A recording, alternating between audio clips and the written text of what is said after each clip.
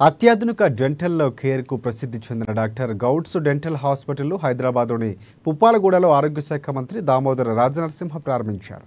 అత్యాధునిక dental care హాస్పిటల్కు సంబంధించి ప్రారంభించేందుకు సంతోషంగా ఉందని వెల్లడించారు.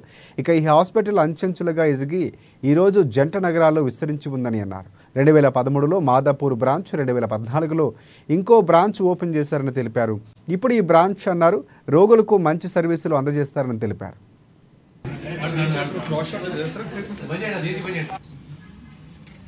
Madam madam. మేడం. ఈరోజు అంచెలంచెలుగా ఎదుగుతూ జంట నగరాల్లో తనకు ప్రత్యేకతని సాటుకున్నారు. ఏడవ క్లినిక్ ఇది బ్రాంచ్ అంటే రెండు వేల పదమూడులో కూడా మాదాపూర్ బ్రాంచ్ నేనే ఓపెన్ చేశాను. మళ్ళీ రెండు వేల పద్నాలుగులో నేను తూర్పుకు వాస్తవం ఇది. రెండు వేల పద్నాలుగు కూడా నేనే ఓపెన్ రెండు వేల ఇరవై నాలుగు కూడా నేనే ఓపెన్ చేశాను. రెండు వేల ముప్పై నాలుగు కూడా ఇంకోటి ఓపెన్ చేశాను.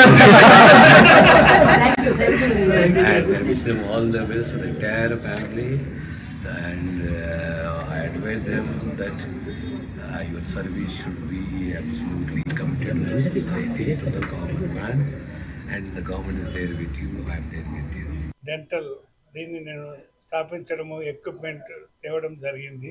మామూలుగా ఈ ప్రపంచ స్థాయి సభల్లో ఇంటర్నేషనల్ కాన్ఫరెన్స్లో వెళ్ళేసి అక్కడ వచ్చిన కొత్త కొత్త టెక్నాలజీ పరికరాలను లైక్ డెంటల్ లేజర్స్ ఇంప్లాంట్స్ ఇటువంటి వాటిని నేను ఇక్కడ మన రాష్ట్రంలో ఉమ్మడి రాష్ట్రంలో నేను మొట్టమొదటిసారిగా ప్రవేశపెట్టడం జరిగింది.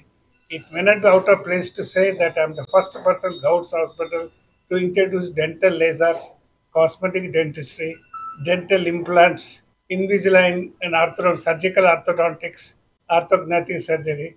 So I take proud of being introducing this new technology, new techniques to our state of Andhra Pradesh and Telangana. Dr. Snigdhan, an orthodontist, dentofacial orthopedics. So orthodontic treatment అంటే మనము ఎవ్రీ మంత్ వచ్చి checkup చేసుకునే వాళ్ళు ఉండేవారు. ఇప్పుడు ఏంటంటే మనం AI technology ద్వారా మనము బ్రేసెస్ కాకుండా అలైనర్స్ అంటే ఇన్విజిలైన్ లేకుంటే అలైనర్స్ ద్వారా మనము టీత్ని కరెక్షన్ చేయొచ్చు. Patients use